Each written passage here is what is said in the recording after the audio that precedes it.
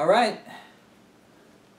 Uh, yeah, thanks everyone for joining us. This is our third week going over Bible basics. And tonight, what uh, topic is going to be why Paul is so important. That's going to be tonight's topic.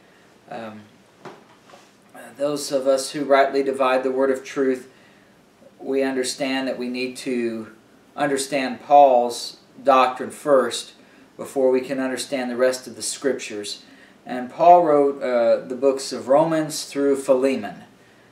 And so those are the books of the Bible that are written to us and therefore our learning first. And then when, we understand that, then we can understand the rest of Scripture.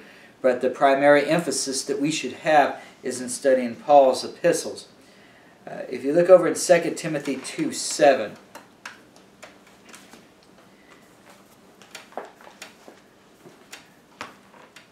2 Timothy 2 7.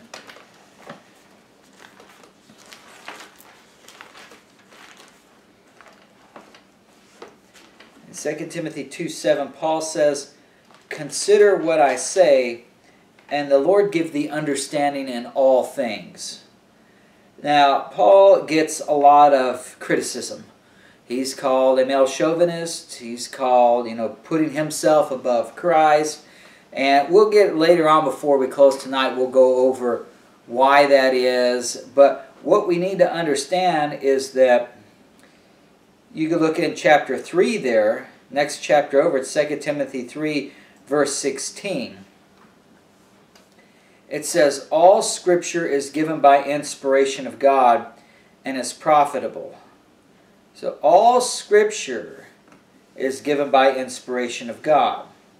Um, hold your place there and look at 2 Peter chapter 1.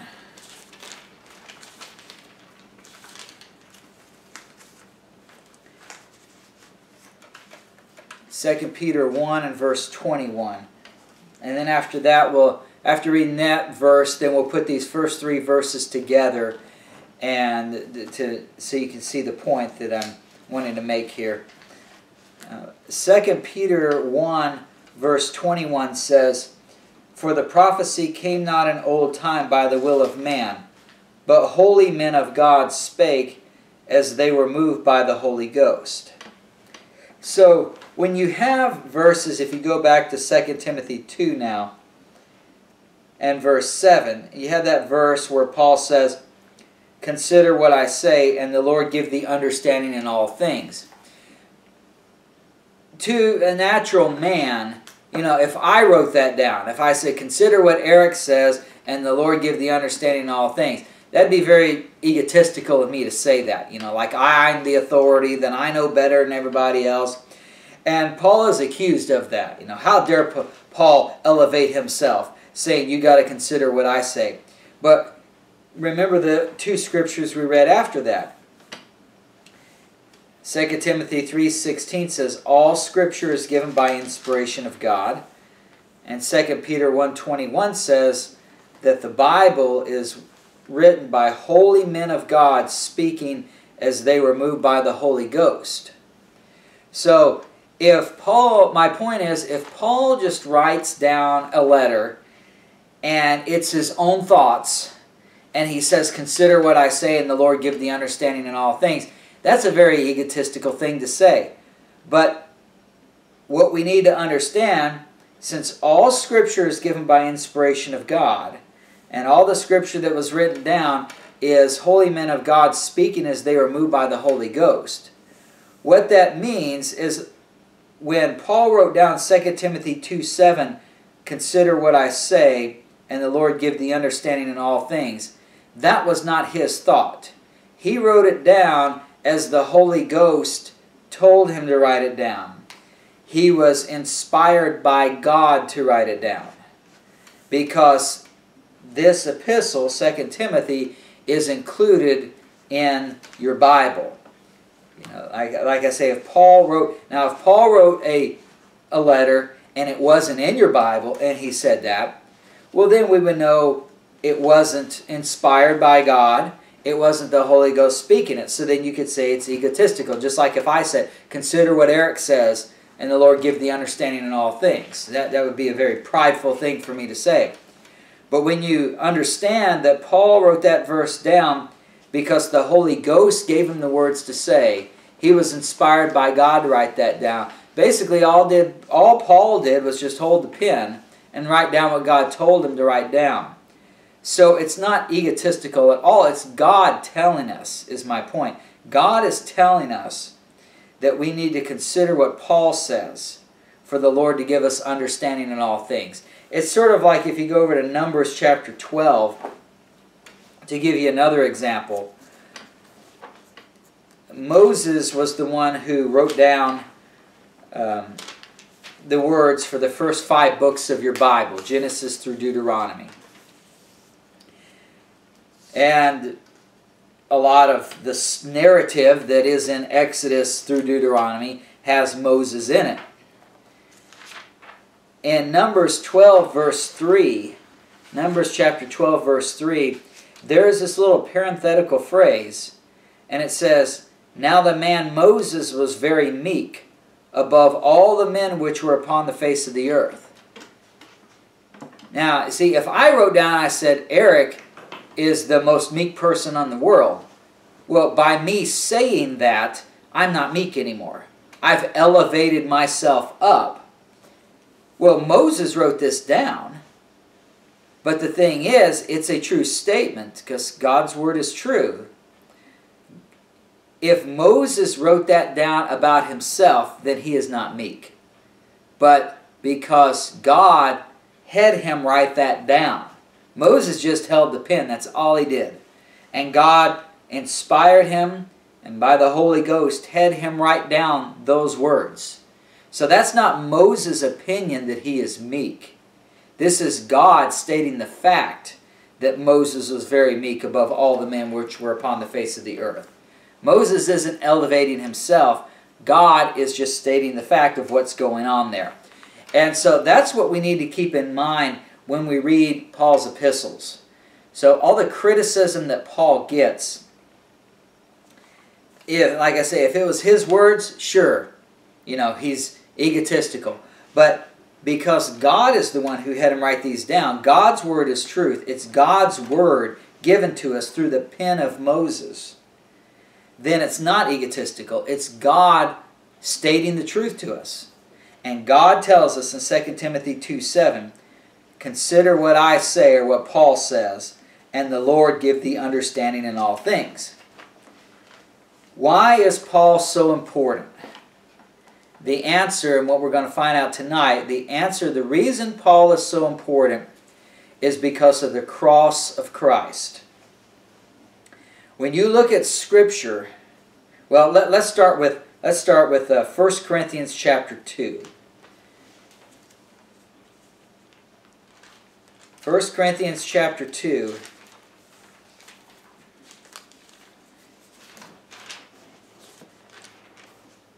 Usually, when we think of the cross of Christ, people automatically think of the crucifixion. They'll think of the account of Jesus' crucifixion at the end of Matthew, Mark, Luke, or John. And I mean, that does give you the historical event of what happened with the cross. But the understanding of what the cross did for us, spiritually speaking, what the cross does, the salvation that is in the cross of Christ. You will only find that in Paul's epistles. You will not find that in your Old Testament or in the New Testament anywhere, even after, even in Hebrews through Revelation. You will not find the importance of the cross of Christ like you do in Paul's epistles. We'll see that in a moment. The reason for that is 1 Corinthians 2, verse 7 and 8. 1 Corinthians 2, verse 7, Paul says, But we speak the wisdom of God in a mystery, even the hidden wisdom, which God ordained before the world unto our glory. God had in mind the cross of Christ before he even created the world. But he kept it a secret. It was a mystery. It was hidden wisdom. God ordained it before the world unto our glory, but he did not proclaim it unto the world until the Apostle Paul. Verse 8 tells you why. It says, Which none of the princes of this world knew, for had they known it, they would not have crucified the Lord of glory. The princes of this world is a reference to Satan and the devils under him. Because you go over the next, over in chapter, um, well, in 2 Corinthians 4, 2 Corinthians 4 and verse 4, Satan is called the God of this world.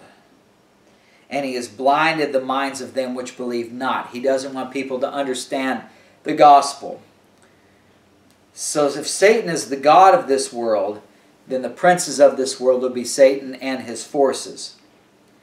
Basically, God, when he made the heaven and earth, before he made heaven and earth, he had foreknowledge that we would sin, we would fall short of the glory of God, that we would need a Redeemer to redeem us. And God came out with the wisdom plan that the way to redeem us, to save us from our sins, to give us eternal life in God's kingdom, would be through the cross of Christ. But if he told Satan and his forces that, then as 1 Corinthians 2 8 says, they would not have crucified the Lord of glory. It's just like if you if you're you got a college football game going on. The coach of one team doesn't go and tell the other team what his plan is. Because if he reveals that, then the other coach can say, "Oh, well, I know what to do to stop my that uh, the team we're playing against from winning." I will make my strategy revolve around what I know about my opponent's strategy. So it's the same thing with God. God comes up with the plan of the cross to save man. If Satan and his forces knew that was God's plan, it says right there, they would not have crucified the Lord of glory. If God's told Satan, I man's going to sin, but I'm going to save man by sending my son to die on a cross for their sins. And Satan would say, well, I'm going to make sure that that doesn't happen. So what God does is he has the plan all along to crucify Jesus as atonement for our sins, but he doesn't tell anybody. He keeps it a secret. When you read the Old Testament, you will not find the cross. If you look up in a concordance, the word cross does not appear in your Bible until Matthew chapter 10. Jesus does not mention to his disciples the that he is going that he will die on a cross until Matthew 20. Let me look it up for you. I didn't write them down. Let me look them up for you just so you have those references. Uh, the word cross first time appears in your Bible Matthew 10 verse 38. And then uh, and then it's in Matthew, let's see, Matthew 20, verse 19. Matthew 20, verse 19 is where Jesus, for the first time, tells his disciples that he will be crucified. So that's the first time in your Bible that it is ever revealed that, that Jesus would die on a cross. But it is not revealed that it is God's it was God's plan until you get to the apostle Paul. The reason so the reason Paul is so important is because the cross is central to his message and you do not find that anywhere else in scripture. And the reason the cross is so important, look over in Galatians chapter 6. In Galatians chapter 6,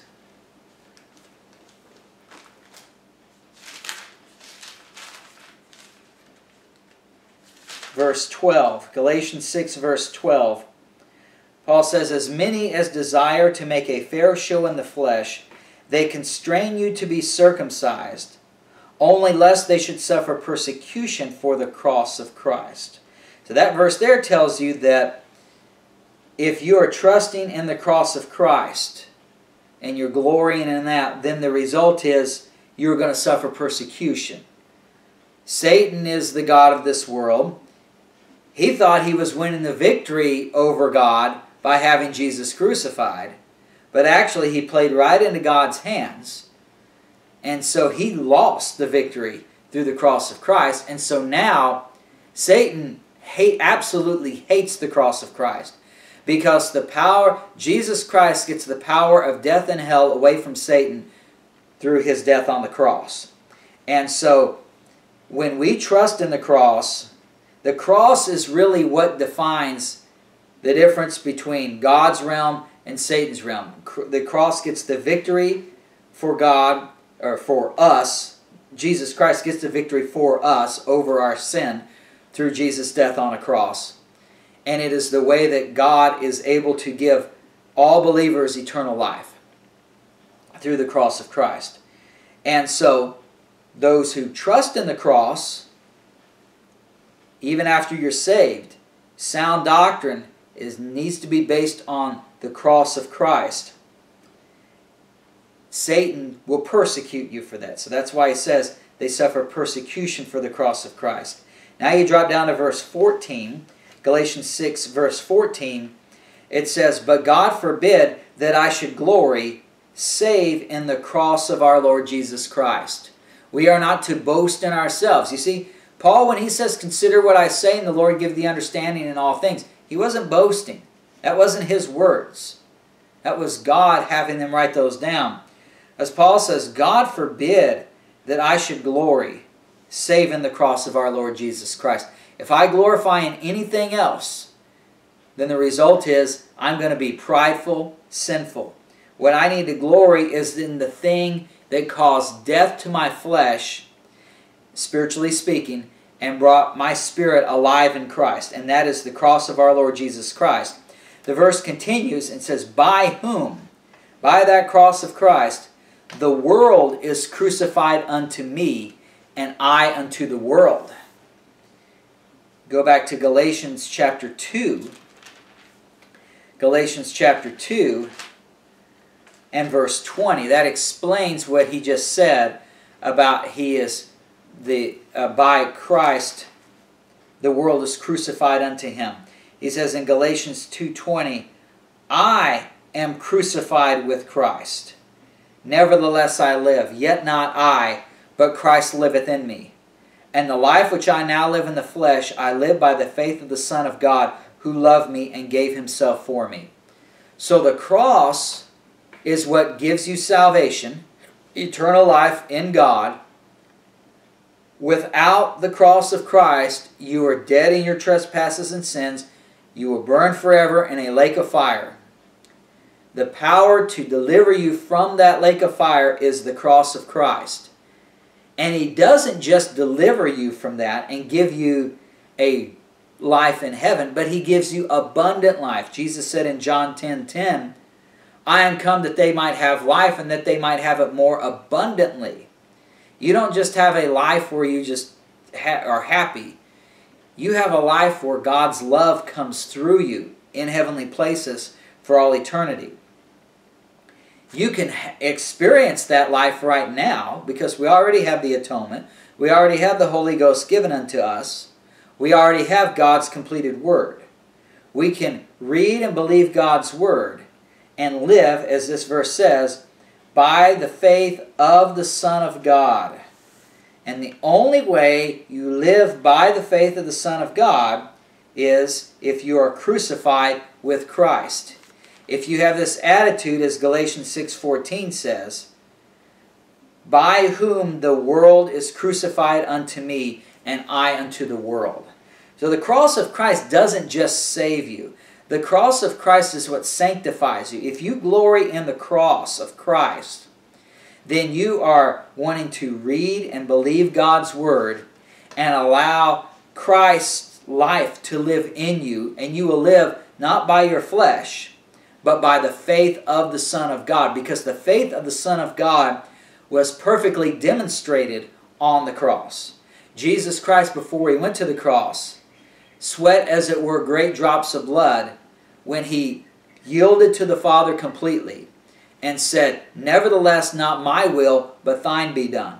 The cross of Christ is the complete faith of, of Christ in the Father's plan because Christ completely abandoned any fleshly will or any self will that he would have. Now, he never went by his self will. I'm not saying that, but but he completely abandoned any notion he had of how he could please God.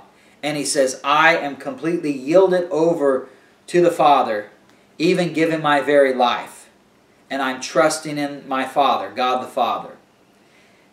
When you believe God's Word and get that sound doctrine in the inner man and allow Christ to live in you, that's what you're doing. You are crucified to the world because you are crucified with Christ. And you're living by the faith that Christ had when he was on that cross. So the cross doesn't just save you, it sanctifies you. Abundant eternal life is in the cross of Christ. And you can experience that abundant eternal life right now. And only Paul tells you that. You may say, well, wait a minute, the cross is mentioned before, and I, you know, I gave you those first couple verses. The word cross is there, but what the cross accomplishes is only seen in Paul's epistles. Look over in Acts chapter 2. Most people, most of Christianity will tell you they believe that the church that we're in today started in Acts chapter 2.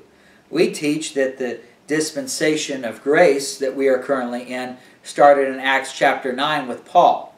And you may say, well, what's the big deal? It's only seven chapters.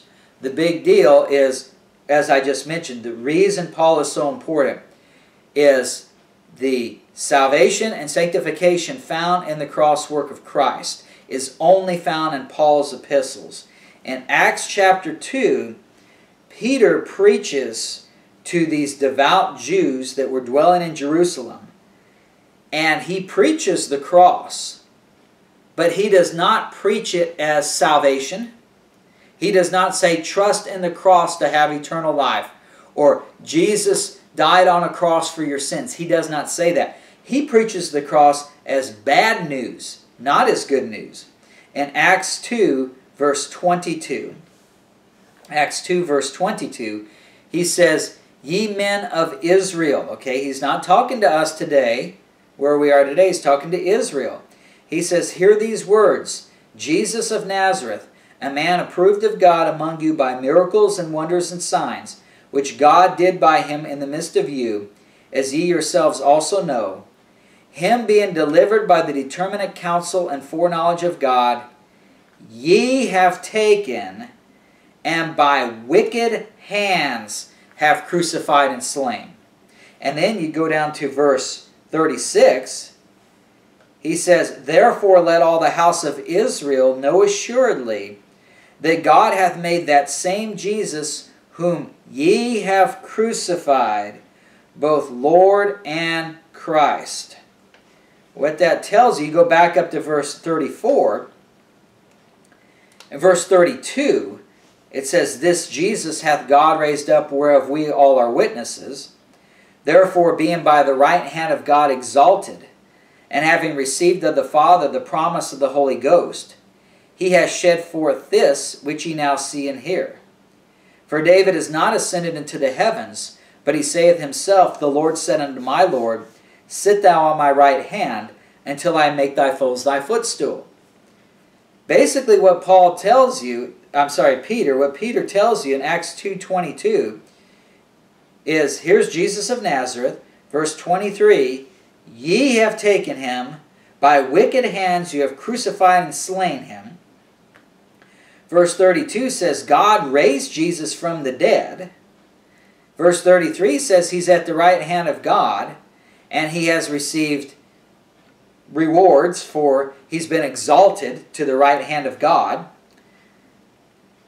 And then it says, He is going to sit at his right hand. Verse 35 says, Until I make thy foes thy footstool.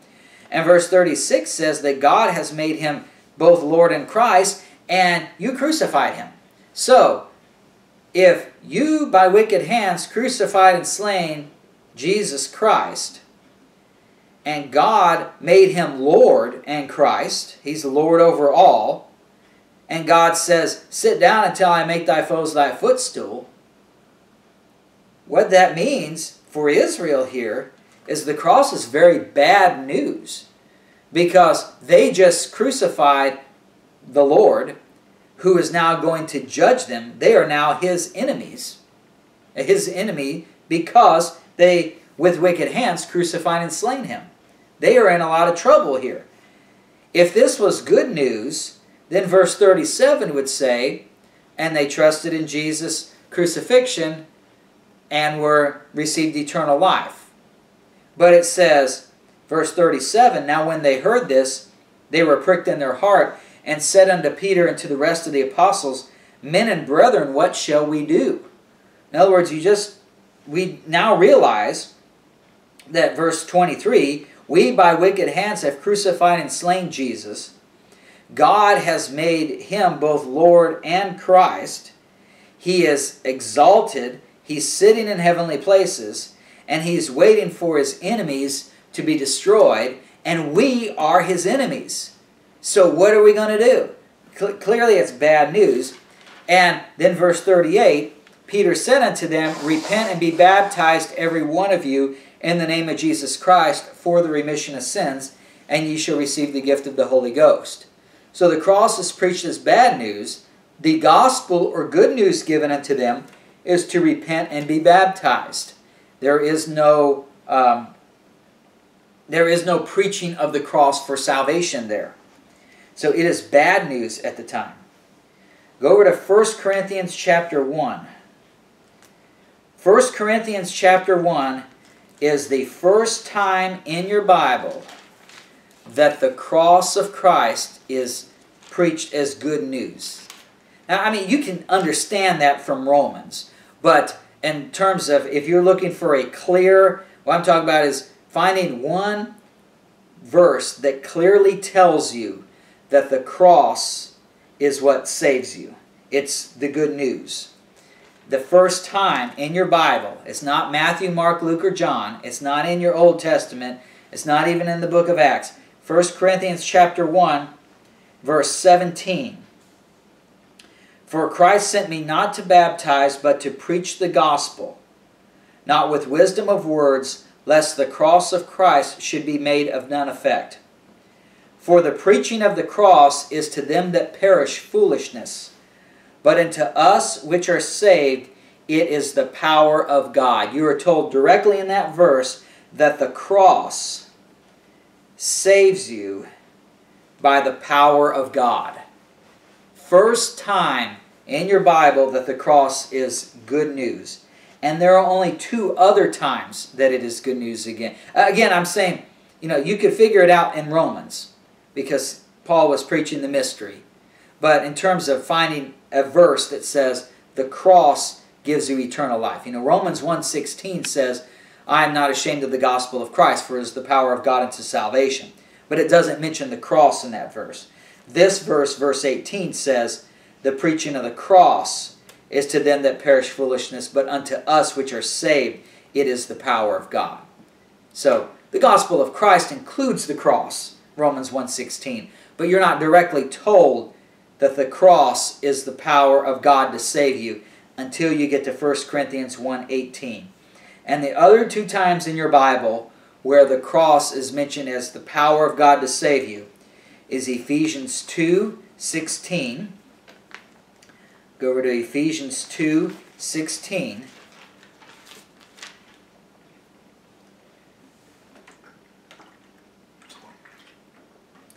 Ephesians 2, 16, it says, that he might reconcile both unto God in one body by the cross, having slain the enmity thereby.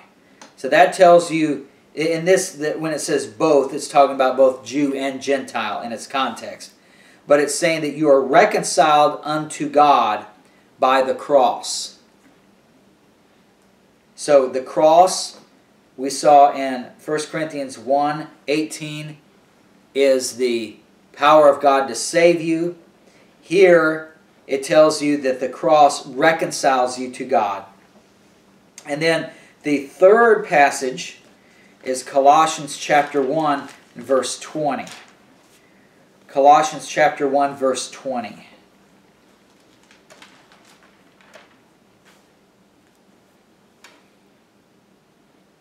Start in verse 19, Colossians 1:19. For it pleased the Father that in him, that is in Christ, should all fullness dwell, and having made peace through the blood of his cross, by him to reconcile all things unto himself. By him I say, whether they be things in earth or things in heaven. So that verse tells you that Jesus made peace through the blood of his cross and he also and that was part of him reconciling all things unto himself. So 1 Corinthians 1:18 tells you the cross is the power of God to save you. Ephesians 2:16 tells you you're reconciled to God by the cross, and Colossians 1:20 tells you that Jesus made peace between you and God through the blood of his cross. Remember, the cross is the power of God into salvation. It is it, by the cross I am crucified unto the world, and the world unto me. By being crucified with Christ, I live by the faith of the Son of God. The cross is the power of God, and only Paul has that information for us. As we saw before in 1 Corinthians 2 8. God all along planned to reconcile us to himself through the cross of Christ. But it was a secret, a mystery hidden until revealed to the Apostle Paul. That's why Paul says in 2 Timothy 2 7, Consider what I say, and the Lord give thee understanding in all things. If you took Paul's epistles out of your Bible, Romans through Philemon, you would not know that the cross, you would not have a verse that tells you the cross is the way that God would save you. Only Paul tells you that. And you understand, and then the, the mystery doctrine, when he said in 1 Corinthians 2 8, when he says there in verse 7, we speak the wisdom of God in a mystery, even the hidden wisdom which God ordained before the world unto our glory, which none of the princes of this world knew, for had they known it, they would not have crucified the Lord of glory. So, the cross really is what starts your understanding of the mystery. There's all kinds of, there's a lot of other doctrine in Paul's epistles between Romans and Philemon. But it's all based upon the foundation of the cross. You go to chapter 3 there in 1 Corinthians. In 1 Corinthians chapter 3, Paul talks about you know, the, the mystery the, that was committed directly to Paul by Jesus Christ. And we're going to go over that in a minute. Um, and the doctrine associated with it. You see here in 1 Corinthians 3, verse 9 he says, For we are laborers together with God, ye are God's husbandry, ye are God's building. According to the grace of God which is given unto me as a wise master builder. He is, Paul, by God, the Holy Ghost, is telling us through the pen of the Apostle Paul that Paul is a wise master builder. And the reason is because he has laid the foundation of the cross work of Christ.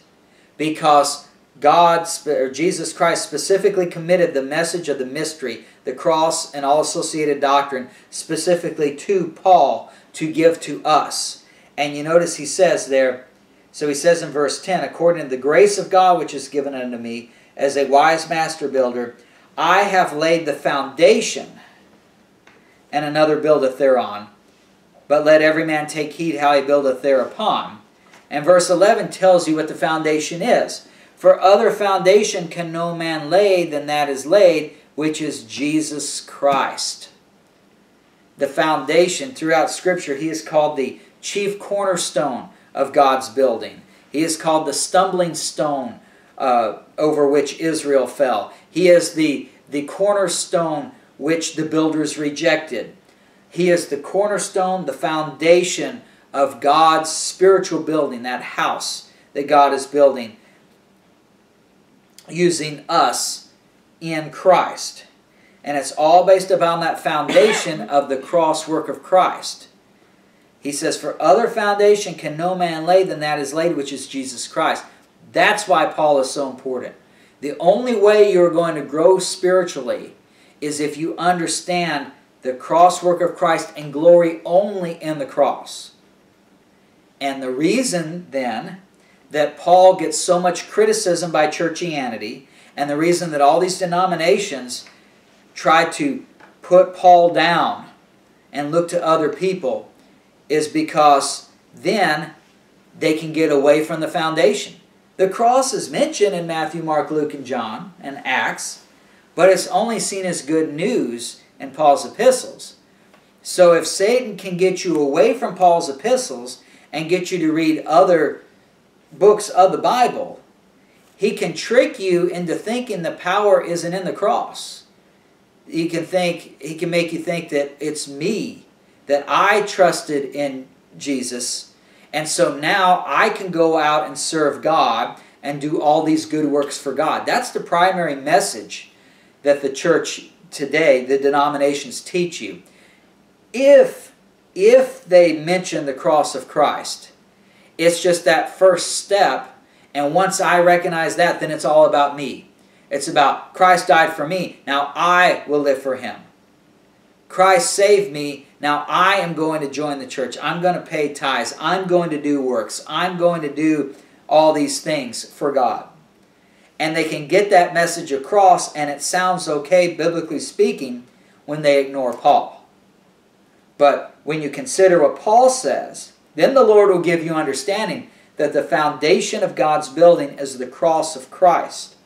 And you trust in that, and now any foundation, anything you build upon it, you have to glory in the cross. So then that way, it's not about me. It's all about living by the faith of the Son of God.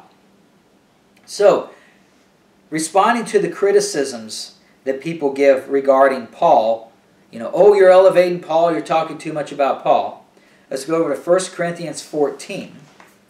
And this goes along with the point we made when we first started tonight.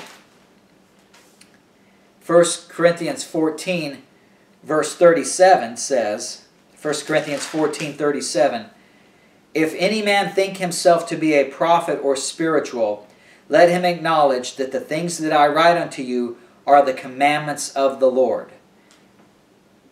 Paul just held the pen. That's all he did. He's not boasting in himself. God told him what to write down. Now, if he wrote things other than this, he wrote at least three letters to the uh, Corinthians, probably four, maybe more. We've only got two in Scripture. If you had one of those other epistles that he wrote to the Corinthians, and he said something like, Consider what I say, and the Lord give the understanding in all things, or I am a wise master builder. Then you might say, oh, Paul's egotistical because he used his words. But when we know all Scripture is given by inspiration of God, and that Paul spake as he was moved by the Holy Ghost, and he says here, what he writes unto you are the commandments of the Lord, then we know it's not Paul being egotistical. It's just Paul simply being the messenger, relaying the information that Jesus Christ gave him. And you can see that if you go over to Galatians chapter 1. Galatians chapter 1. In Galatians chapter 1, verse 11, Paul says here, But I certify you, brethren, that the gospel which was preached of me is not after man, for I neither received it of man, neither was I taught it, but by the revelation of Jesus Christ. That tells you the gospel that Paul preached was different from what the apostles preached. In Acts chapter 9, God sent Ananias to Paul for him to receive his sight. Ananias did not preach the gospel of trusting in Jesus' death, burial, and resurrection as atonement for your sins. Ananias did not tell Paul that because Paul says here, he did not receive it of man, neither was he taught it but by the revelation of Jesus Christ. Ananias did not know to trust in Jesus' death, burial, and resurrection as atonement for sins. He knew the information of Acts 2 that Israel was in a heap of trouble because they, by wicked hands, crucified and slain the Lord Jesus Christ, who is now sitting at the right hand of the Father. The information that Ananias had, or any of those early apostles, before the mystery was given to Jesus Christ, was the cross was something that got Israel into a whole lot of trouble.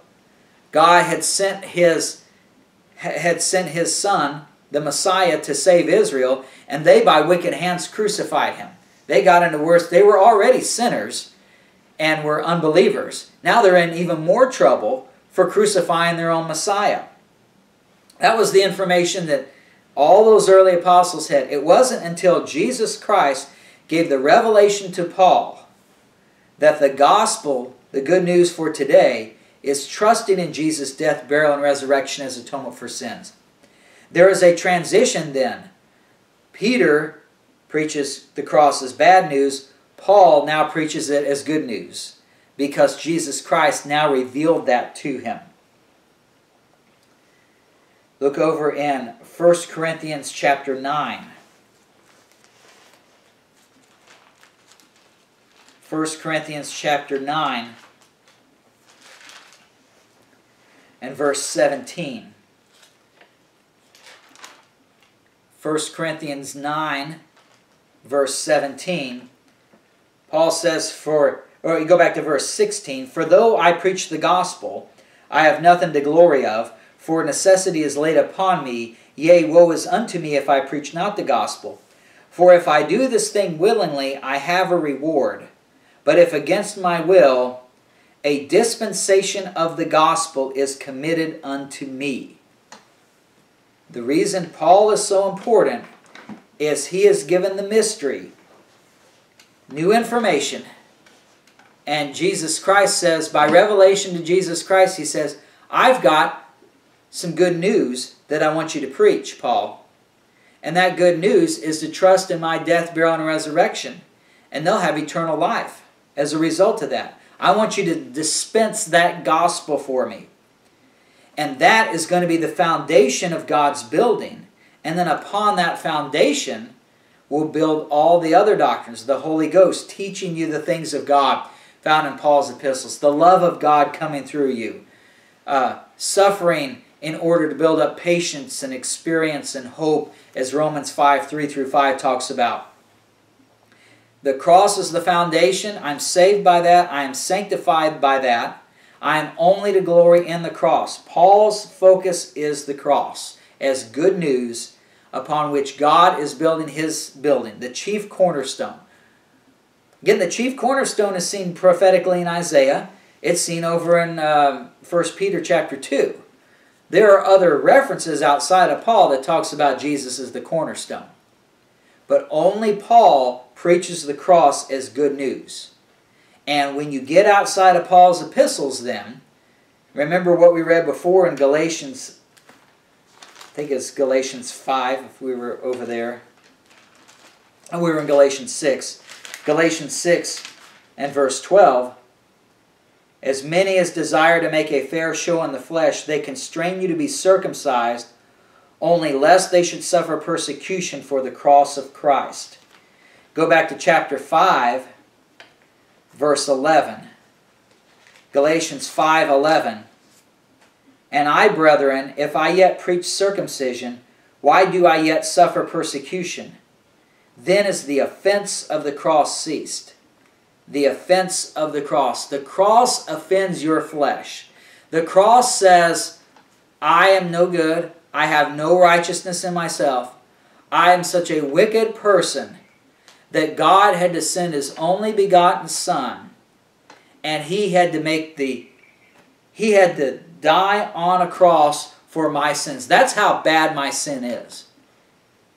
It, I am the cross offends my flesh. It confronts how bad it. See, I, my flesh wants to look good. It says, "Well, you know, I'm a pretty good person. You know, I, I take care of my family. I work a job. You know, I'm nice to people. When someone rubs me the wrong way, I, I brush it off. So I'm a fairly good person. That's what the flesh says. The cross of Christ says, There is none good, no, not one. There is none righteous, no, not one. You are such a wicked and vile person in your flesh that God had to send his son and he had to die on a cross. It wasn't just, oh, slap his wrist, you know, um, put him in jail for three, for, you know, for a day or two, um, you know, have him go around and confess your sins to a priest, as the Catholics say. Now it caused death. My sin caused the Messiah to die. He had to go to a cross and suffer cruel torture. Worst suffering you could ever have. All because I have sinned. That offends my flesh. And so Satan will do everything he can to get you out of Paul's epistles so that you will not focus on the cross as good news. We'll still mention the cross so that it deceives your flesh, or deceives your spirit, your soul, deceives your soul into thinking that you are still following God and His Word because we mentioned the cross of Christ. But the power of the cross, where I glory in the cross, where I'm crucified with Christ, when I live by the faith of the Son of God, that power is completely done away in a church system that glorifies my works after the cross. And so that's why Paul suffers such a, a great attack. Look over in Ephesians chapter 3. This is why Paul, people come up with all kinds of excuses not to believe Paul. They'll say, oh, he was a male chauvinist, he was uh, full of himself, he had all this pride.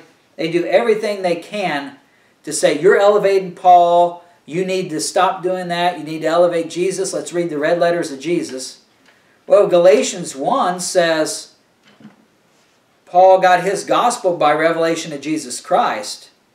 Then I am elevating Jesus when I follow Paul.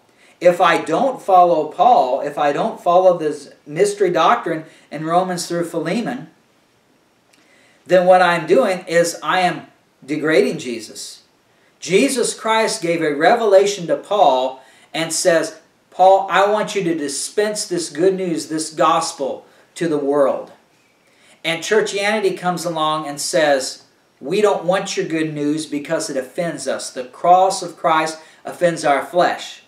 So we are going to deceive people into thinking they're following God by getting rid of Paul and following the red letters of Matthew through John, when really the way you follow Jesus Christ is by following Paul because Jesus Christ gave the revelation to Paul that he has here. Ephesians chapter 3. Ephesians chapter 3, verse 2. He says, If ye have heard of the dispensation of the grace of God, which is given me to youward, how that by revelation he made known unto the, me the mystery, as I wrote afore in few words. So there you have God by revelation made known unto him the mystery. This isn't Paul is a male chauvinist or Paul is an egotistical person. This is God, by revelation, making known unto him the mystery. Verse 4 Whereby when ye read, ye may understand my knowledge in the mystery of Christ. Christ is the one who gave him that doctrine. Verse 5 Which in other ages was not made known unto the sons of men as it is now revealed unto his holy apostles and prophets by the Spirit, that the Gentiles should be fellow heirs and of the same body, and partakers of his promise in Christ by the gospel, whereof I was made a minister, according to the gift of the grace of God given unto me by the effectual working of his power. When you discount Paul and you try to follow the red letters of Matthew through John, what you are saying is, I despise the gift of the grace of God and the effectual working of the power of Christ in my life. And instead, I want to follow, I want to take a God's word, Matthew through John, it's still God's word, but I want to take that and I want to manipulate that around to make me look good in the flesh. Essentially, that's what you're doing when you do that. Look over Colossians chapter 2 because Ephesians 3 4 mention his knowledge in the mystery of Christ. In Colossians chapter 2, verse 2, Colossians 2 2, it says that their hearts might be comforted, being knit together in love, and unto all riches of the full assurance of understanding, to the acknowledgement of the mystery of God, there's that mystery again, and of the Father, and of Christ, in whom, in Christ, are hid all the treasures of wisdom and knowledge. When you put Paul down and you go back to the red letters, you don't have the mystery because it wasn't it wasn't given to man until given to Paul. In that mystery is hid all the treasures of wisdom and knowledge. They're treasures.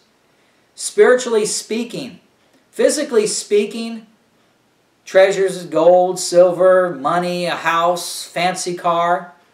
But when I die, any treasures of this world I have, they fade with me. I can't take a house, gold, money. I can't take any of that with me. But spiritually speaking, the treasures are wisdom and knowledge. And those I take with me because they're stored up in my inner man, and my inner man goes into heaven. And then those treasures are used for all eternity. And those treasures, all the treasures of wisdom and knowledge, today are found in the mystery of God and of the Father and of Christ. And that mystery is found in Paul's epistles. That's why Paul is so important. And so, in summary, because we're out of time, in summary, it's not that we're elevating Paul, but when we recognize that God gave special information to Paul that was not revealed beforehand, what we are doing, rather than elevating Paul, we are elevating the cross work of Christ. And when we do that, we are glorying in God the Father's plan to share His love throughout all eternity to all those who would believe Him. And when we discount Paul, we're not elevating Christ, but rather we are trying to put down the cross work of Christ.